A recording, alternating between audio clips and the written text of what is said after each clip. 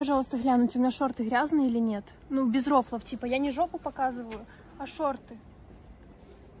Блять. Грязные? Да? Блять, в смысле нахуй?